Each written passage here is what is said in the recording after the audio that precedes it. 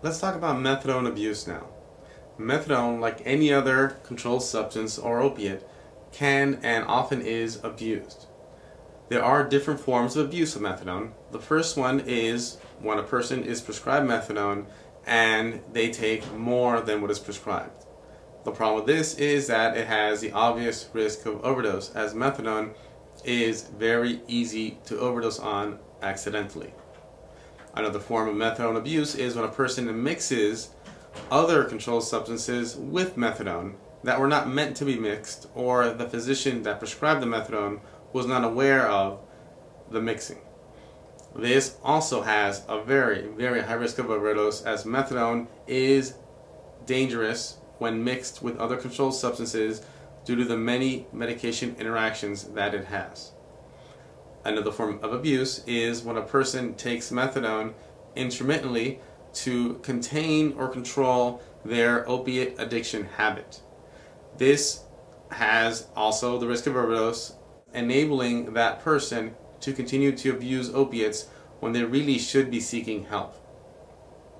The last form of methadone abuse is when the person takes methadone that is not prescribed to them for strictly recreational reasons. Again, overdose is the main concern as methadone is so easy to overdose on. Now, I mentioned overdose on all of these scenarios because that really is the single biggest concern with methadone abuse that tendency to overdose accidentally. Now, there are reasons why methadone is so much easier to overdose on than conventional opiates. Part of it is the chemical nature of methadone.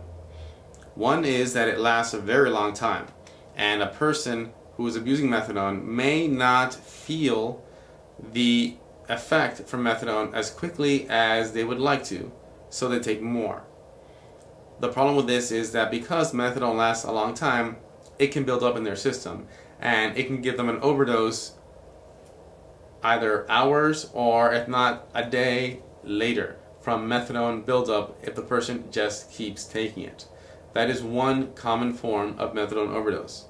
Usually the way that picture would look is the person, they just think they're falling asleep and they never wake up. They die in their sleep.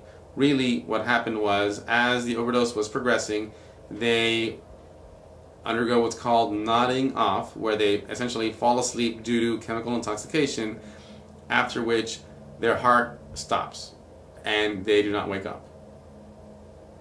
The other forms of methadone overdose can happen a little more quickly where the person can stop breathing within a matter of even minutes from a sensitivity reaction to the methadone that is often unpredictable. Some patients can take very high doses of methadone and not even blink an eye, whereas others will overdose at very, very low doses of methadone, even though their tolerance for opiates is otherwise very, very high. This is a common phenomenon with methadone, which is why when it is started, it should only ever be started by a physician that is experienced in using methadone, and it should be done under observation in the office. The other risk with methadone is that when it is abused or it is not monitored, it can cause an arrhythmia that can stop the heart and kill the person as well at a lower dose than would normally cause a simple overdose. This side effect is common and has been realized in recent years and has been included in the warning labels on methadone package inserts over the last couple years as a result.